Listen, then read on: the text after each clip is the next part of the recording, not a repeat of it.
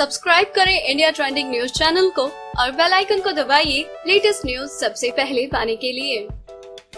South Africa और England की team के बीच विश्व कप 2019 का पहला मैच लंदन के कैनिंगटन ओल मैदान पर खेला गया।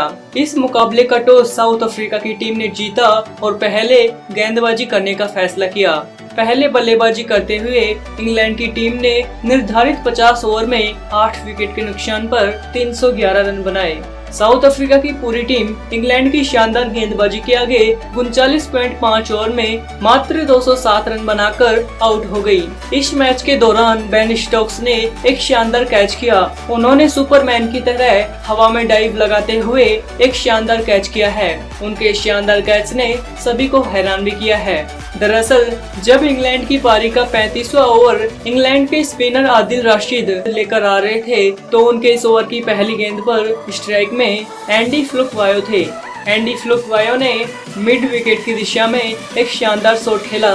उनका यह शॉट देखकर लग रहा था कि गेंद आसानी से छक्के के लिए चली जाएगी। लेकिन तभी वहाँ फील्डिंग कर रहे बेन स्टोक्स ने हवा में सुपरमैन की तरह उड़ते हुए एक शानदार कैच कर लिया और अपनी टीम को एंडी फ्लोकवायो का महत्वपूर्ण विकेट दिला दिया।